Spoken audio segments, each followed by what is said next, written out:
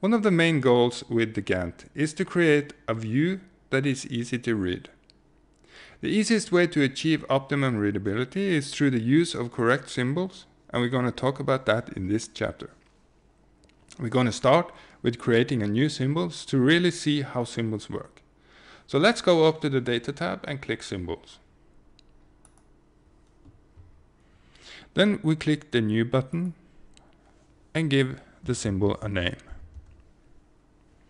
Then we set the span of the symbol. Here you see a series of available dates for use as the start and end date. You just go scroll through the list till you find the fields you're looking for. We're going to use the early start and finish dates, which is the default, and, and the same as our early symbols is using.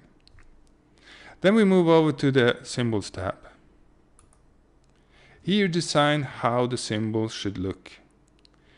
First you choose how you want the, symbol, the bar to look like. Let's choose the top adjusted. Then you choose the pattern and the color. Let's choose yellow and the gradient type pattern. So now we created a new symbol. Remember to click the visibility box in the Generals tab. So let's click Apply. You can now see the, the uh, symbol above the early symbol in the Gantt chart. If you go back to the symbol setup window and then move over to the text tab, we can add text to our symbol.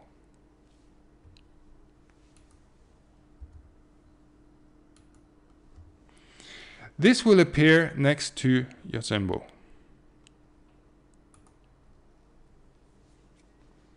In the Generals tab,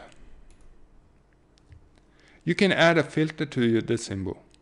If you want the symbol to be visible on some activities, you can create a filter and then apply it to the symbol.